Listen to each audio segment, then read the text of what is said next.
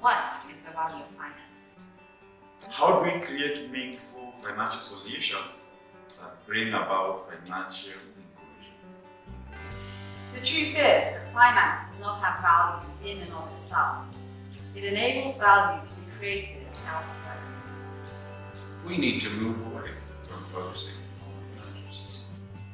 and towards how the system creates value for people's lives